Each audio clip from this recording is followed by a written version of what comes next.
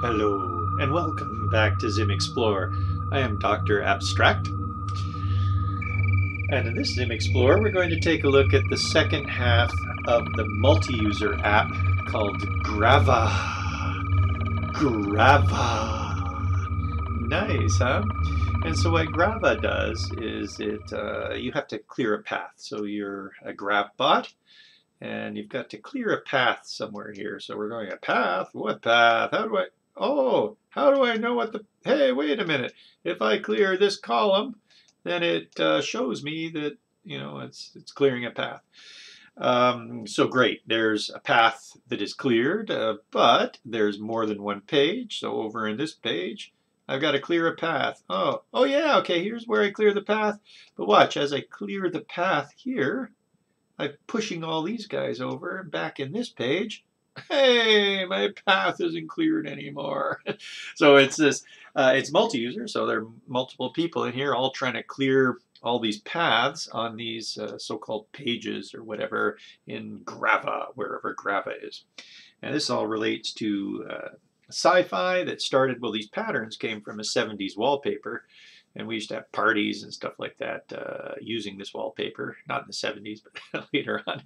We put it on tables for medieval feasts. It looks like metal almost. It was really cool, and I was using it for sci-fi tapes uh, as the, the, cassette covers, and and then came Save Earth in 2000. One of the first one of the first um, CSS pages, 2000. So CSS is now 20 years old. My goodness and a whole bunch of uh, the meta mystery came. So Save Earth was a, a, nano sort of tech issue stuff, and all of this is nanotech uh, and part of the meta mysteries, part of Nanora. Nanora is like life at really small levels. Done sci-fi um, videos or uh, film festivals with that. Uh, and more games. Um, there was the Meta Monks and stuff. There was an early Zim game, as a matter of fact, or HTML5 canvas game. And then we're reusing these patterns, and Grava is all part of that as well. So as we launch this, we'll give you links back to the past. Uh, Nanora is on Altura, which is a, an early mobile app to let people tell stories with alternate alternate uh, paths and stuff like that, like choose your own adventure type things in a slightly special way. you get to choose the adventure, but uh, the adventure you choose doesn't necessarily happen. Um, anyway, so we're continuing on in there. Now, this is the second half, as, as mentioned. That means uh, I've maybe already told you some of this, I'm not sure, but you should go look at the first half if you're just arriving. So if if you haven't seen the first half, which rambled a bit, I must admit, and we almost redid it, but you never know. When we ramble, you never know where there's things that will help you guys out, so I may as well leave it in there. Hopefully you don't mind. It's almost like a half storytelling, half half code looking through. And so speaking of code, though, why don't we actually dip into some code then? We'll reduce this down. Now this is multi-user, so uh, you want to see just a bit of that. If we were to open up another one here and pop it on over here. So now we go into Grava, and as I move uh, here, oh, this is a, we're on a different page here, I think. Yeah. So let me go back to the beginning. So here's the beginning, and as I move here, it moves there, and and vice versa. So see that? Cool, huh? So that's a multi-user. Um, okay, into some code then. So we've looked through the code already. We're bringing in Zim socket and stuff like that. Uh, just as a quick quick review here, we're using model view controller. So we make the model, we wait until the socket's ready, then we pass the model into the view. The view is the things that we see. The model is our data. Uh, and we also run a controller and we pass the model and the view to the controller. So in the last a Zim Explorer, we took a look at this. We took a look at creating the model. So here's the model. We've already seen uh, creating the socket, waiting for the socket to be ready, getting the data, that kind of stuff, various uh, methods that the socket will do to help us uh, keep track of that data. Over in the view, we looked at making a pattern. Every time uh, that makes a pattern, but we're passing that into the tile here. So let me make this a bit bigger for you. So when we when we create the tile, these are the circle tiles, like the tiling of all of the little circles. Each for each tile that we make, we uh, sorry, tile is a confusing word, isn't it? Plural tiles, we'll call it tiles. For each tile we make in the tiles, we're calling make pattern. Make pattern returns either a space like an empty container if there's a space in the data. This is us getting the data, or it returns um, based on the pattern itself. Uh, we've got this array right here of patterns, 0 to 9. This array is made up of these containers. This is the actual view, so we're in the view. These are the circles. This is what makes up those circles. We store each one in the array. We then get the correct one based on the data. We clone it, which I don't think we need, but maybe we do. And we rotate it to be whatever the rotation in the data says. So all that, all the rotations and the patterns will match across. Not that it matters so much, actually. Those patterns are really don't have anything to do with the puzzle, so to speak. Uh, but it helps if they visually match. It's yeah, kind of nice. All right, so that's all what we talked about before. We maybe didn't look into an intro, so why don't we see how we did the intro? The intro is all on a pane, as in this kind of pane right here. We might need the intro later. As a matter of fact, we'll need to know when the intro is closed. And that's in the controller. The controller here probably has an event somewhere on that intro. Shall we look for it? Control F. Uh, intro. And here it is, v.intro.onClose. So the controller is controlling things. Hey, when we close this, here's what we want to do. We want to set the page number to zero. This is like when we first started, uh, well, as in when we read the instructions, brief instructions, close the pane. We then make a tile. We're going to make the nav come up on the tile, and we're going to do this stuff, whatever that stuff is doing. Okay applying some events to our menu. Now note how we've got this, uh, v.intro. We can access things from the view. So here's the view. In the view, we're making var intro. Oh, should really be const intro, I think, most likely. Don't think we ever put a different pane in there. Um, anyway, uh, there it is. So for local stuff, we can use that. So when we center reg some stuff on the intro, we can just use that reference. But if we want something in the controller to access the pane, then we're storing the intro on the view. So in, this intro is a property of the view. The V is, is this. So uh, we're in a class right now. We're in the class called app.view view with a capital letter. This is ES6 class, or sorry, ES5 class, so not an ES6 class. Um, we've uh, this is the object that gets made, the view object, and we're storing that in the const called v. So in here, everything we put on v is, is a property or a method. So if it's a function we're storing on that, then it's a method. Uh, if it's, where we get to? Uh, label, label, label, sorry. Scan, scan, scan, beads, beads, beads. Intro, yes. So uh, this intro is a property of our view. And it's this new pane here with the background color. We made it extra big so it goes off the edge of the stage. Therefore, it just looks like a big page rather than a, like a panel, so to speak. Um, we've got a back that is cloned. Oh yeah, okay, so uh, let's check out that intro again then. We refresh here. Here's the intro. This whole big circle with the dark top and the light bottom, that is one of the, uh, that's two, that's one of our, our circles. And we're cloning that, and we're rotating it, because I guess it know, we wanted it so the dark thing was on the top rather than on the left or whatever.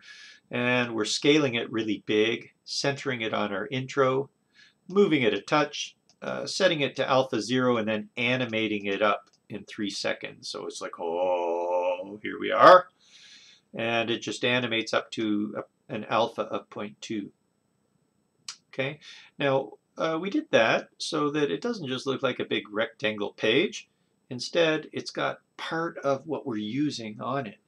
And that's a good idea to do. If you've got a pane, like even if it's a help pane or menu, you know, or not menu, uh, call it like an alert box or something like that, it's, it's a good idea if you're using a pane to put something there. Put an icon that, that is one of your icons or, or a little logo. Or when we did T-Bugs, for instance, we uh, put a little picture of the T-Bug. We used the assets that we were using in, in our game right on that menu and it sort of it, it personalizes it a bit. It makes it yours. It's more professional.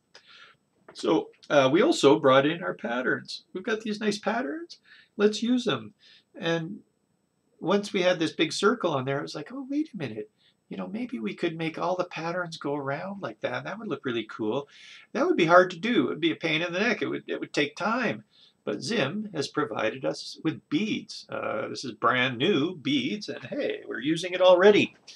So we specify a path of a blob. Uh, it's either got to be a blob or a squiggle for these beads to go on. And we say to that blob, please be round. So the points uh, in the sh shape of a circle. You could also put in some SVG there, or you could uh, make a path and then record it and stuff. Uh, that's all Zim NIO stuff. So have a look at zimjs.com slash nio, N-I-O for 9. That was all new in Zim 9. We're giving it a radius. The object that we're going to make beads of, uh, if we just said new circle here, new circle and, uh, I don't know, 20 or something, and made it, well, not blue, anything but blue, purple, purples, uh, then we would be passing in a bunch of, uh, a bunch of circles. There's a bunch of purple circles. Okay, that's not what we want though. So what we're passing in there instead as the object to, to make beads from is patterns. Patterns is this array right up here somewhere. Right here's here's patterns. That's all our individual 0, 1, 2, 3. Those are all our individual circle patterns that we've made. Those are containers that hold a bunch of circles. So if we pass that array into beads, then beads will automatically, it's a ZIM VEE value. A ZIM VEE value, you can pass in an array and it will randomly pick from that array. If we wanted a series of them, then we would pass in a series. And a series would do all of those things in the array in order. But if we just pass the array, then it, it randomly picks from them, which is fine.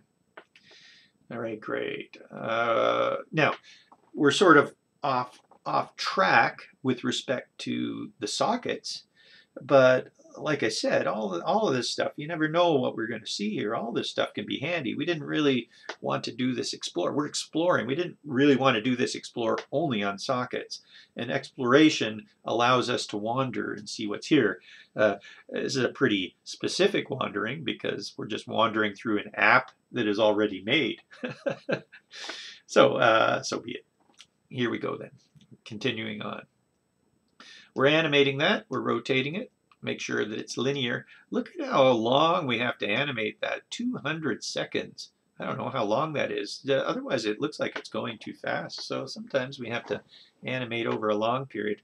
And then this is fading the anima or fading the the alpha up uh, as we as we enter there. Note that you can do that. You want two different animations. You can animate like that. Now, why do we move to label letters here to put in Grava? I guess the reason would be because this is what it looked like if we didn't do what we're what we're doing here. New label, no comma there. So let's just see what the new label of Grava looks like uh, with the Megatron font as we put it into place here. So we refresh here. Should have our circles back, and we do. This is what Grava looks like with the automatic kerning that comes with the font. It's like, really? Jeez, that's uh, that's pretty tight in there. It makes this thing all look like a unit, and then these two, like, great Ava! GR Ava! Um, but anyway, I didn't like it like that, so we took matters into our own hands. Now, the canvas doesn't have any way to kern here, aside from, I mean, we could make uh, we use, Photoshop or something and make an image of, of this, um, which you can certainly do. You can this could have been a Photoshop image, no problem. But uh, we've got our own font here, Megatron. And so what we've done is we've thrown it into label letters. Label letters just puts the labels, or the it breaks that into individual labels, so a G label, an R label, A, and it will put those next to one another. But we can also pass in spacings here to say how much to move. If we don't pass in the spacings, here's what it just looks like. Uh, probably not very good. Now, the funny thing is, if it's normal font, the, the default font, actually it looks exactly like the font uh, if you just made a single label. So, in other words, you use a default label with um, default label, or default font with a label, and then you use that same default font with the label letters, you actually can't tell the difference. But with this one, it appears you can. It must. Uh, there, I think there seems to be some room around these guys that like that doesn't look good at all. So we had to bring that in minus 35 and minus 35.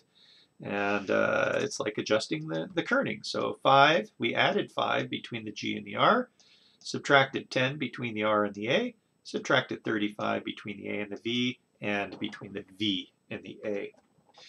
So we save this up, and here we are kerning on the canvas.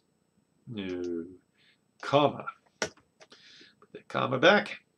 Was there anything else we needed to put back? This doesn't quite look full yet.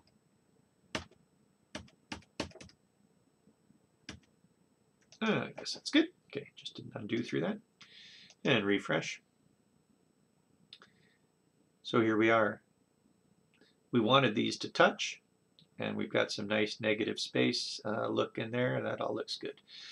So certainly pay attention to that. You should be using at least a custom font for your logo, if not even if, if you're really professional, you might be making that font yourself. Uh, you might manipulate the font in some way, use a couple different fonts in a logo. Sometimes that, that happens. If you don't like this A, say you really like this, oh yeah, but these A's are ridiculous. Well then cut that off and put it up here, you know, into a traditional A or try and find a better A uh, pay some pay attention with the name of your your app. All right, or get a designer to do it. that also works. All right, so good. Uh, label letters, super. Um, what else are we doing here? Now the subhead there, the subheading. How much time we need. This needs to be two sets of, of uh, labels. So this is a font right here. And here's another font setting, so it's smaller, it's a different color. We cannot, in one label, handle multicolor or multi-font or multi-size, that kind of thing. So we just break that into two. Only takes a second to do, instructs with a bunch of spaces. And then um, we inserted that, and then we have the GravBot in there. Like I said, just takes a moment, moment to do that. All right, navigation the navigation is a radial menu that we're bringing up there. Uh, what are these things? Line H, line V, fronting. Not sure what all that stuff is. Line H and line V. It's blue. Oh, okay. That's going to be maybe the line 150. Are we using? I don't even think we're using this anymore well, it must be. What would a blue line do? Um, I don't know. well, let's do a search on it. You guys, there's only one thing here. Any line? Oh yeah, there's some line H's and line V's. Go to a page. Oh, right, right, right, right, right. So this is handling, uh, it says right here, assets for page animation. So as we go from one page to another, Let's have a look. Uh, we're, we're inside here. As we go from one page to another, a blue line sweeps by.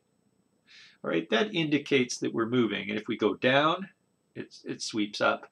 We could have cached this whole thing and animated it up as we cached the next page and animated that up. It Would have been no problem. The thing is, we're operating a puzzle here. This is actually a puzzle.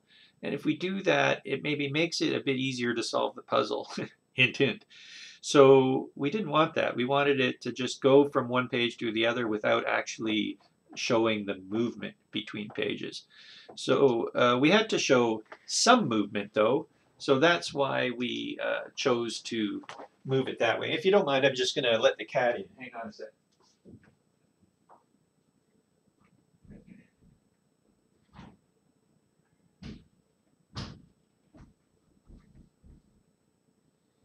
All right, my apologies. Hopefully that's allowed you to examine some of these patterns, admire it. It's a nice pattern, isn't it? So that's what those blue lines are, are created for. This is the view, so anything that we see, we uh, prepare for that. Fronting, I'm not too sure, it's black. Oh yeah, that would be the thing that showed up as we went from page to page. Instead of a backing, we called it a fronting. What do you think? So as we go from page to page, that was that black shape that we just saw there.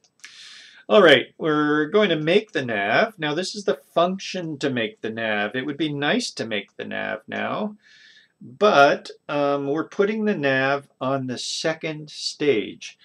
Uh, I don't know, I don't think we've mentioned it in our summary here. All of these shapes in behind, those are vectors. That's a thousand vectors. If we were to drag this nav around on it, if it were on the same stage, we would have to update the stage with all of these vectors on it. And that that would uh, bog mobile a little bit. Like it, it, would it would look like this eh, eh, eh, kind of thing. So uh, this is much more smooth because we put this on a different stage, on a stage on top. So you make a, a, new Zim frame. So we've got a Zim frame made for the back. We've got a Zim frame made for the top. The nav is in the top. The top has the font that we're loading and therefore the bottom will be made first and we can't just uh, so it's a matter of what loads when kind of thing. So what we how we've handled that is we've made the menu but we've stored it all in uh, this function right here called make nav. All right? And when we're all ready to go we'll make the nav. As a matter of fact uh, this is called when the second frame is ready. That's not quite true. It's now called when it used to be that way, but then we added the whole intro page. So the intro page, when the intro page is cleared, that's when this gets called. So it gets called when intro is cleared or closed, I guess is the word for it. All right, we can find that out by just doing a quick search on the controller. Let's see, make nav. And here it is. So when the intro closes, and isn't that nice? There's the v dot intro. So the, the whole intro is stored on the view and that's why we can access it from here, from the controller, because the view right here is being collected from the controller. right back in here, when we make the controller, we pass in the model and the view. Right, we made the view. Uh, when we made the view, we put that we put the menu on the view. So, or no, well, what was it that we put on the view? Uh, I don't know. something, we put something on the view. Uh, the make nav function is stored on the view. So here's the make nav function, right? Okay, great. All right, the menu itself is a radial menu. Nice, huh? So we get to use a radial menu. That's fairly new in Zim as well. It's a round menu. Normally, the radio men radial menu has more to it than, than just this. Uh, normally, it expands open and it can handle any number of radial uh, sort of menus, uh, rings or whatever. Uh, but that's fine. It also handles this. Now, it's a little bit different. Usually a menu we are choosing uh, something and it stays chosen. Here we decided that it, it's, it's more like, hey, I just click that. Uh, we did have to hide these things, so that was a little custom custom work to hide hide that. Could have used a D-pad maybe, but the D-pad is more like you click and hold it and then it moves something. So the D-pad's also circular with arrows already, and it's kind of like, hey, that looks like a D-pad, but it's a little different. Um, Okay, so anyway, we did do a radial menu. We passed in the font. We have Grava there. We had to readjust that, I think, to do the kerning even on that menu as well. So you'll see that a bit later if we bother looking at it again. We've got the rotate icons true, and we're passing in a, a nothing for these. So there's no text. Instead, we're passing in uh, in the styles, the icons are these triangles. So there's a bunch of triangles. And uh, like I said, we've got the rotate icons true. We set some spacing and gap arrangements, uh, custom uh, there. Backdrop colors, we added a gradient. Anything else of interest here? Current selected. We worked through some current selected, like I said, so it doesn't actually select the thing, or no, it allows you to select it even if it's selected. That's the issue. Normally with a menu, like a tabs, you select it. After you select it, it doesn't really let you select it again unless you say current selected. Oh, false. Uh, current enabled true. Um, anyway, whatever. Uh, you, you, guys, you can read through the parameters on that. Current enabled. Uh, that's it. So not current selected. Current selected is whether it shows that it's selected, and we don't want to show that it's been selected. Current enabled, we want to be true so that we can click it more than once. Even we can click something even if it's the currently selected one. Because if we hit the arrow to the right, great, it's selected.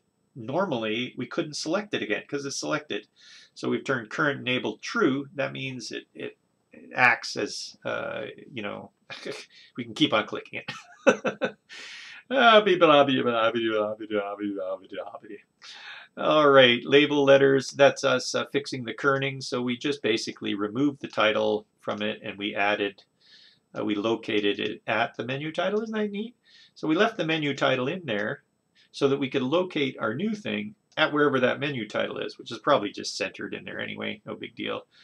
And we put it in the menu titles parent. So this was sort of like a customization. Unfortunately, we had to customize in there. And uh, we also have to, have to customize the core. The core collapses all the menus. So uh, radial menu was complicated. We didn't make it all that, uh, like it is quite flexible, but some things weren't flexible you can open the things up and you can close them. Well, we didn't make it so that you can't close them. you know, that kind of thing. So we actually removed the event listeners from the core. So we give access to the core, remove the event listeners, and actually did a custom drag on it as well, which uh, lets you pick this thing up. So normally if I click that, it would actually close this ring. and if I click it again, it would open the ring.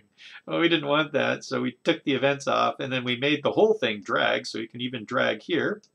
Oops, I clicked and dragged at the same time. Oh, I guess that does, that's what that does, click and drag. So anyway, be careful. You can drag from the center of it, and it drags the whole menu.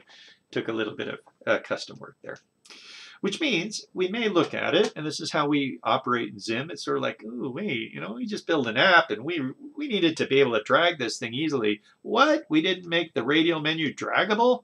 So now we're going to probably look at it for a future uh, version and say, hey, we should supply a draggable parameter so that we can drag this radial menu. It would have been handy to have that rather than have to customize it. How's everybody doing on the Explorer? Let's take a, a deep breath here, or call it halfway through. deep breath. All right, what else do we have then? Boop, boop, boop. Outer menu buttons. What buttons, buttons, buttons? Uh, right, okay, so menu.outer menu would give us access to the ring that holds those buttons. Buttons are all of the rings and we're telling get child at 3 to be invisible. So hey, turn off the icon. Okay, get the third button, or the, actually that's the fourth button, I guess. Get the first button and set the icons invisible for those. So again, some customization. This is uh, this is the zero. Uh, one, two, three. So um, I'm not sure. What do we do? Icons three. Do we rotate this thing? whatever. Maybe, maybe the thing on the right is the first one. Zero, one, two, three. Yeah, must be. So this must be the first one. That's the second one, third one. This is the zero. Well, I thought it started at zero there. Whatever. Uh, you get the idea, right? Hey, desktop reveal. Droop, droop, droop, droop, droop, droop. Half desktop reveal. Um, alrighty, what else? Cache oh, something about caching as we animate in. I think we animated in, no big deal, don't worry about that. And then we make an emitter because we've got that tip that we're that we're bringing in. So that looks like when we move something from the right column or the right path, there it is. So that's the emitter. See that? Whoop, whoop. It's like a ring that opens up. We tried a variety of different emitters. In the end, uh, we start pause true. We just made it a simple circle, blue, no gravity, so it doesn't fall down. Uh, we probably don't even need an interval anymore because we're we're only going to. Uh, actually, that's kind of interesting. I wonder if that's what's causing the delay. We I did notice that as we uh, do that, watch. See how it kind of sits there for a bit and then shoots out? I was wondering why that happened, and maybe because our interval is too high. Uh, default is 50. What if we turn the interval off? Let's just have a look. Maybe it's waiting 2,000 or 200. Um, oh. Missed. Missed. There. Nah, it still looks like it gets placed. It must just, I don't know, it seems like it gets placed and then it, it shoots off. Uh, okay, whatever. That's the force that it's that will act upon it. Um, zero force. So why is it even going anywhere? I don't know. It emits what is a, a force is going to emit in some direction. So if we go minus uh, 20, oh, that's a lot. That's going to go fast. We'll just go minus 5. This is going to push the ring up. Whoa, desktop reveal. Why am I doing these desktop reveals? There we go. Let's switch that up. Uh, by the way, I should just tab between these things. One day I'll grow up and tab between these things. So here we go. oh, it totally looks like there's a force, but we've got some, it's like changing directions. It's up and down. And did I ever rotate this thing? The emitter must be rotated for some reason because that force should always just go up. We're locating it on the menu. The menu, does the menu ever rotate? That's a weird, it's weird happening there. Anyway, not sure what that is, but uh, there's bound to be a reason somewhere on it. Uh, maybe the circle doesn't rotate. No. Okay, don't know. Uh, the conclusion pane. So we get a pane that, oh, you don't want to see that. That would like be sneaking. That's like, that's where the answer and stuff shows up. Uh, but anyway, that allows you to try and solve the, the puzzle when something finishes. So we won't bother looking at that. Let's jump on over to the controller. All right, maybe we'll have some explanation as to what's going on with that ring as it shoots out there. Uh, but uh, there we go. Here is the controller. So we're bringing in the model in the view or collecting it. We're in the controller. We might need the calls, the rows, the spacing. So we're just taking some nice local variables to operate on those. Sometimes what happens is you, you build your app as a single page app, a SPA, and then partway through you say, oh boy, this is getting big. We better split this up. Um, I think that's what happened in this case. I, I, was building it as a single page app and I went, ah, you know what, I wouldn't mind teaching the model view controller. This is getting big enough. We've got some good models. We got some good view. We got some good controller. Let's split it up. Well, that means all the code already is using calls and rows. So it'd be a bit of a pain to go into that code and change it all to m dot calls and m dot rows. So instead, we just bring in the model and then we set calls locally here equal to m dot calls. And hey, you don't have to change any code after that. So that's what we've done. It also just makes it a bit easier to read down below if we just use calls rather than m dot calls. All right, so we're swiping. We're swiping, we're making a swipe class, uh, or object, sorry, a swipe object from the swipe class, and we're passing in the backing the V backing. So the backing was put there. It's the same color as the stage was put there specifically so we could pass that into swipe. Truthfully, I can't remember. We might might be able to pass in the stage to swipe to swipe and then just swipe on the stage. I can't remember, like I said. Swipe is built like that because quite often we don't want to swipe everywhere. This is a case where actually we want to capture a swipe anywhere, but quite often you would just want to capture a swipe on a certain object. So you pass in that object that you want to capture the swipe on. And then when you swipe on the object, it will give you a swipe event saying up, down, left, right, that kind of thing. So they're setting some variables for that. Um, also, we may not always be able to move. If somebody else is moving, then we're using the socket to tell us that, and it won't let us move. yeah, we were doing some debugging on that, uh, just trying that with um, another person, and we were still getting some issues there. So we're going to look into that. But anyway, that's the concept. Um, right. Uh, this was a bit complicated going back into the sockets where if somebody left as they were swiping, the swiping locks it. It, creates a ready check uh, or something like that. Uh, uh, see if we can see it here. Swipe, busy time, busy. It's busy something, not busy time. Busy check. Okay. So um, there's two checks here. One is an allow check. This is for us ourselves. When we swipe a pattern, we don't want to be able to swipe another pattern right away. Uh, so until it's finished animating, we're going to set an allow check to false. So initially we get our own allow check to true, and we can't double swipe. All right, that's one thing. But when we swipe, we also set a busy check somewhere in here. So that would be swipe. Uh, here's the swipe right here. Is it? Yeah, swipe dot on swipe. Socket request time. Where are we setting our busy check? Socket dot set properties busy check true. So within our swipe, we're going to set the busy check to true. So we're setting a bunch of properties all at the same time. Setting the busy check to true, we're also push data. We're also passing, oh, the specific um, thing that we pushed on. Okay, what what page number are we on? So what page, what column did we push on? What row did we push on? Which direction did we push on? Or in the x, anything? One for positive, minus one for negative, zero if we didn't. Same with the y and the index uh, that we swiped on. Hmm, how do we know that? Swipe index. Oh yeah, okay, that's just sort of splitting it up. Based on this swipe index that we get, we calculated the column and the row, but uh, we'll come back to that. Uh, so we pass that data to everybody else, and everybody else reads that data and says, oh, I got to swipe that way. That's better than passing all of the data. Now, according to our testing, though, maybe something was going wrong in here, and maybe it would be safer to just pass all our data and remake it when somebody receives this data. I don't know. We're, we're going to check. But anyway, we also set a busy time. So last check, what time was it when we set this?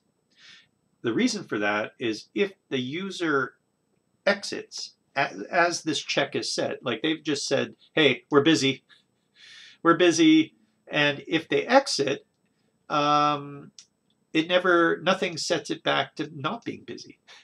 and we don't want the socket left with this, sorry everybody, it's still busy. Hey, maybe the guy left, but we're still busy.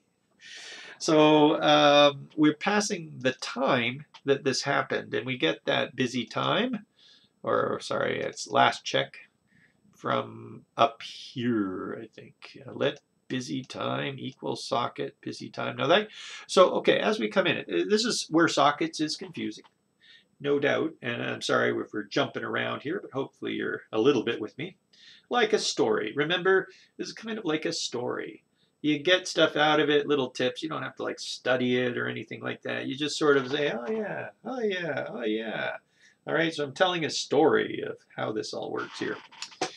So um, as we swipe, we don't even want to go in and set busy. We don't want to do all this stuff if it's already busy, right? So this is us swiping on a thing. We don't know yet if somebody else is, is, is if it's still busy. So what we need to do when we swipe, when we want to swipe, we have to ask, is this busy? So let busy time equal the last uh, socket or the last value of busy time. This will tell us what time somebody else swiped this. And then we say, well, as long as we aren't still swiping, or you know that it's not animating from us swiping, and as long as uh, the socket's latest value of busy check, so it's not uh, busy check says it's it's um, okay, but and the busy time, or if there's a busy time and it's within the last two seconds.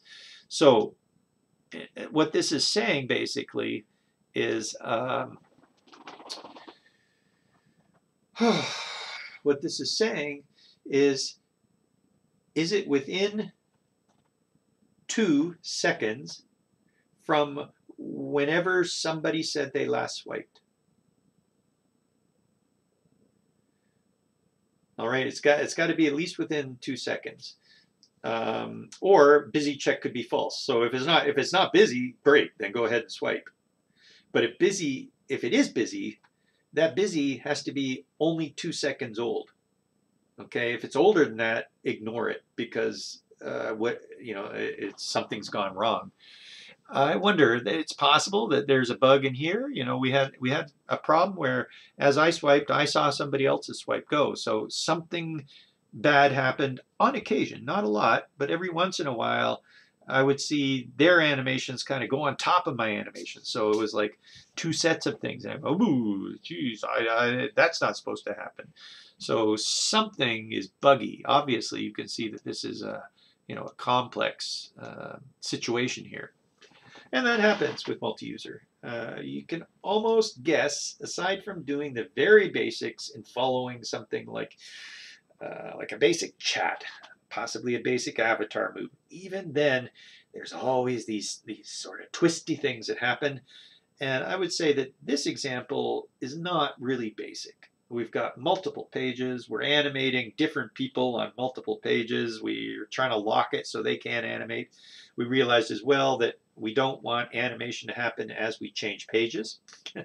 so what was happening is it changed the page and halfway through the page, all of a sudden this animation would appear. And that's another thing. The animation is on the frame above. So our data and stuff is on the frame below. The animation is uh, being overlaid in a sense to, um, to help us out with performance. So uh, that's why we're seeing things like animations happening over top of page changes. So we just need to lock the, we, we can't animate when there's a page change.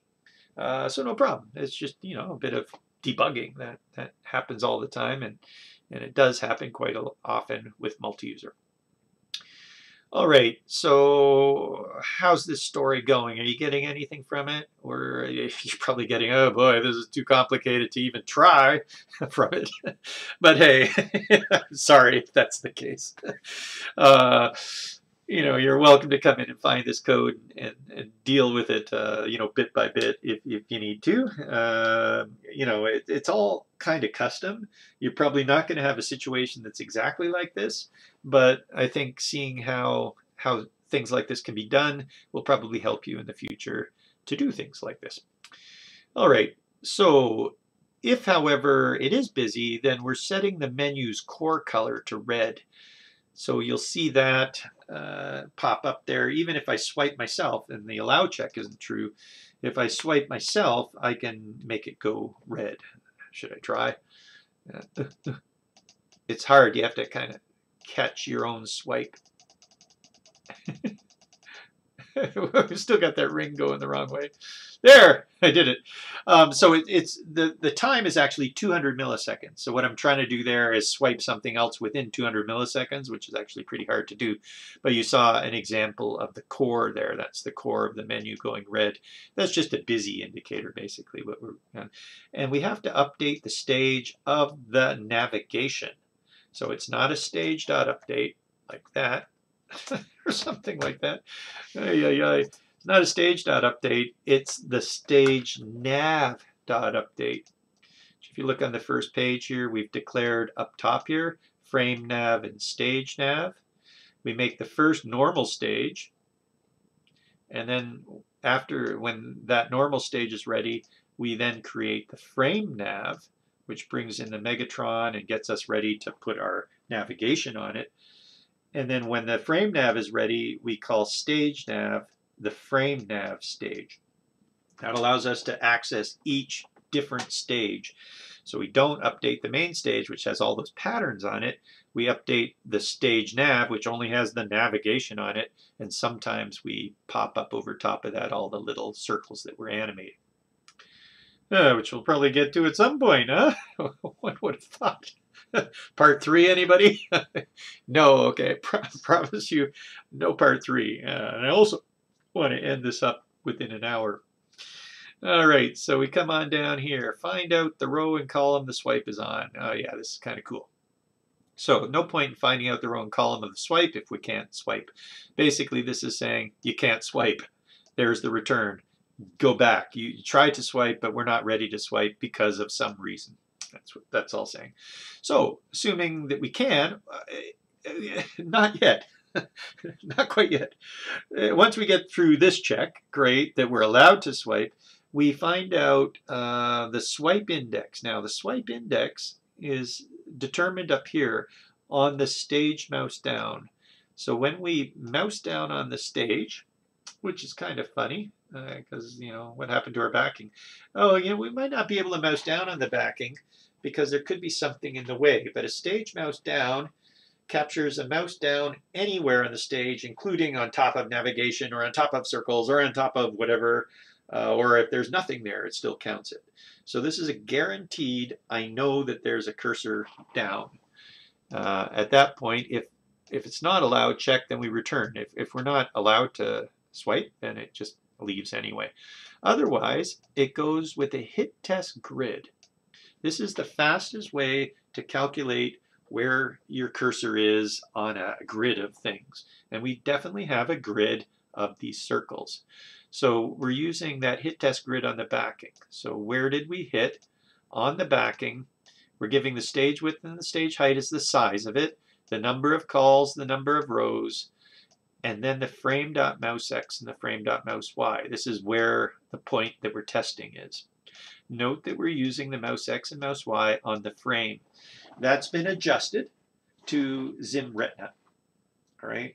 ZimRetina, you can't just use stage X and stage Y or the event object stage X, stage Y. You can't even use, uh, what was the other one? Um, anyway, you, you can't use those because they're CreateJS based. They weren't adjusted for scaling the stage. Uh, CreateJS needs to fix that. So we've gone into frame.mousex, frame.mousey. We've scale, we've we've adjusted that to this stage scale because uh, in in Retina the the stage or the, the the frame or the stage canvas or whatever gets scaled to match the pixel density. All right, and that messes up everything. Uh, we have to fix it. So there we are getting the X and Y position, and we also are saying where does it start. So that starts based on where the tile is, and these are the spacings in the X and Y. So that's a big long parameter set uh, that you pass in to find out where in the grid you're hitting. But that's a calculation. All this stuff is just a calculation in there. It is not, is the cursor on a pixel color? Because that's a hit test on a color, and that's slower. All right, so if you're doing anything like pixel drawing, or you, you're trying to like erase a whole bunch of grid items or something like that, then use hit test grid. It's the fastest thing that there is. That returns an index. It can also return a row and column if you want, but um, you can just get that from the index. So that gives us an index when we press down.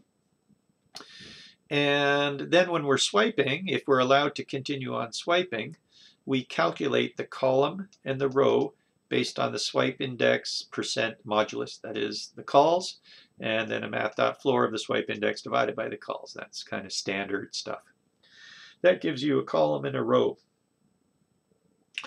If the data, so here's us getting our local data, if the data for our page at that column and row, now how can we call get data? Get data is over here in the data.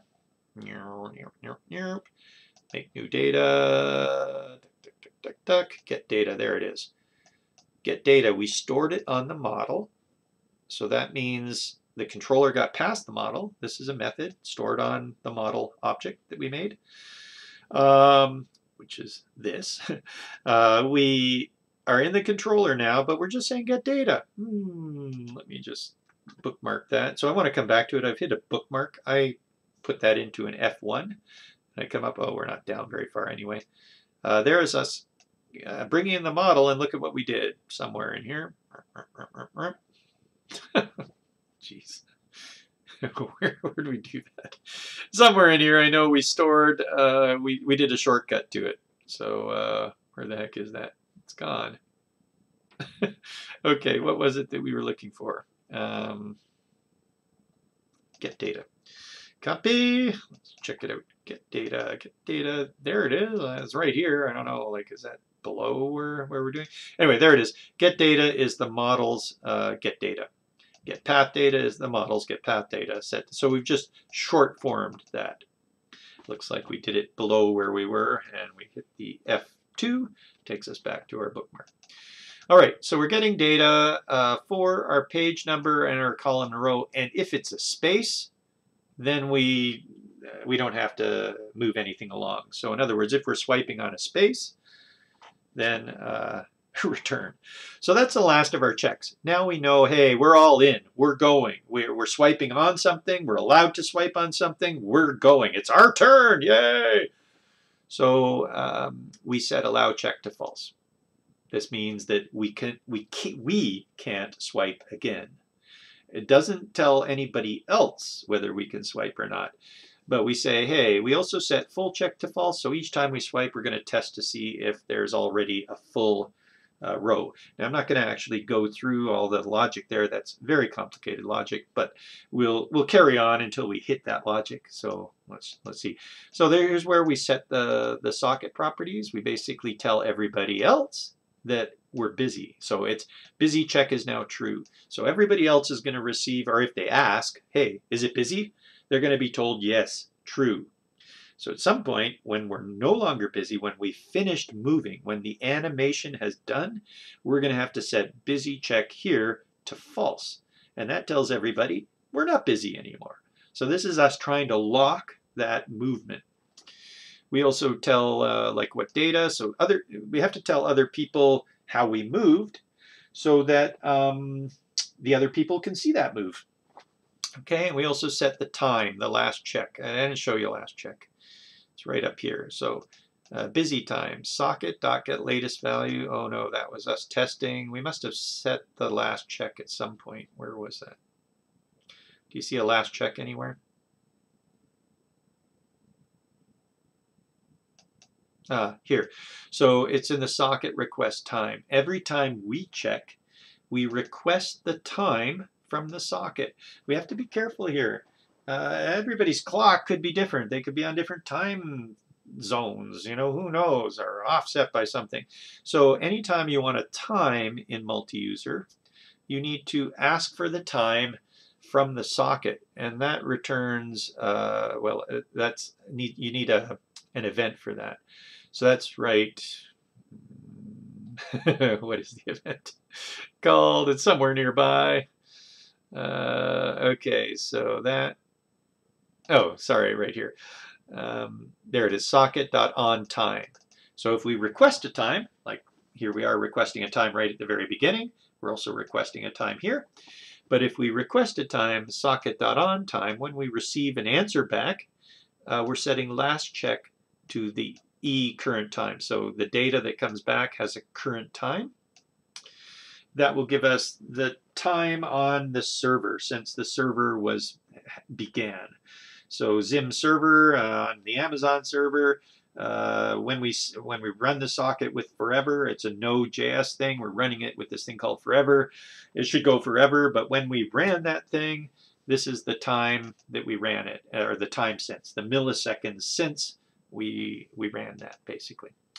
All right, so that's the last check time. Blah, bitty, blah, bitty, blah, bitty, blah. Where were we now?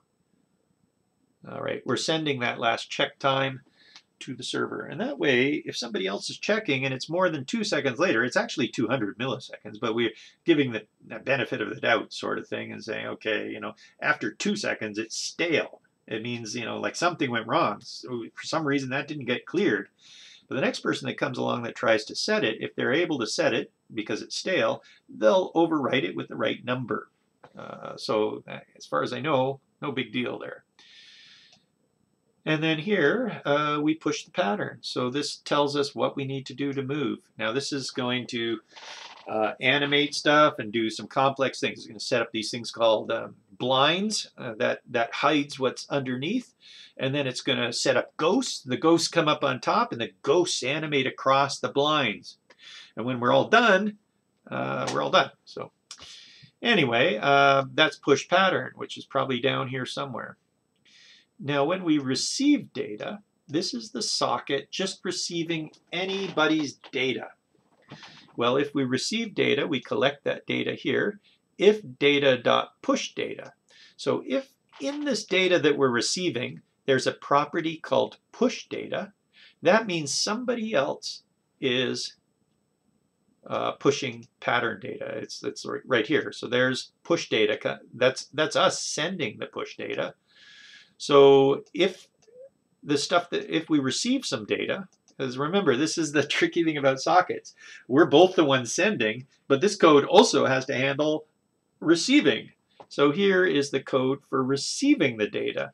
And if that data has some push data, then we push pattern, same as this guy right here, we push pattern and we pass the data from that pattern. So push pattern expects a page number. Oh, and a page number. Here it is. Uh, this is the page that we're on. This is the start page, uh, which may not be the same thing. That's what's confusing about it. Uh, might be this is a start page. If we're the one pushing this, then that, these things are the same. So that's why these things happen to be the same here. But if we're the ones collecting it, uh, it may not be the same. Also, it, it sends it back to itself. Oh gosh, you know, like well, nothing like it. It's um, uh, to be able to push something from one page to another, the next page also needs to be pushed, and then maybe the next page after that is pushed, and you keep on going until you hit the start value again. So I think we talked a bit about that in, in the last Explore, so I don't know if I want to go into it again, plus we're running quite low on time here. But it may be that the current page we're checking is not the start page, basically. So we had to collect both of those information. Uh, and we had to deal with it here. But basically, we're uh, the data is the call, the row, the, the swipe directions, and the swipe index. And you'll note that that's the same thing that we're passing into pushing a pattern. That's the information that we need. When we pass that to the rest of the world, the rest of the world then receives that information and it pushes its own patterns. Isn't that neat? So it's the same push pattern function, but sometimes it's somebody else using that push pattern and sometimes it's you yourself using push pattern.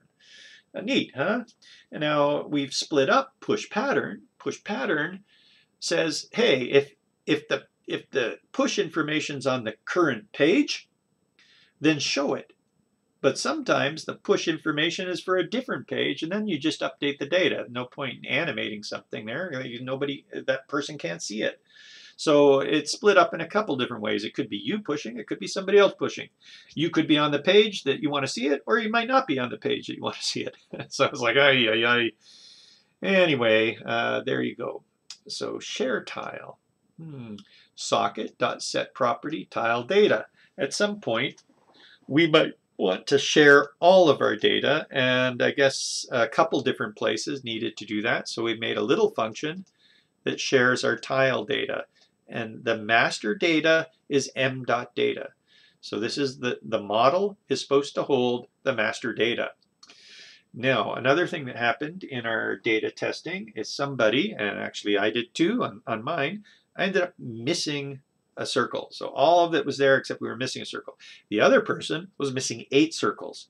So somewhere along the, the line, our data is getting out of sync and the number of spaces has changed. And that's obviously not good. So we're going to have to rethink this. It may be that we need to be more uh, more strict on when the data gets shared. Right now we're saying, hey, tell everybody we're pushing something. So in somebody else's data, it just says we're pushing, and then that adjusts their data. Well, it's a little bit dangerous to adjust their data, but not necessarily adjust, you know, my data or this data. so somewhere along the line, those datas are being are, are out of sync.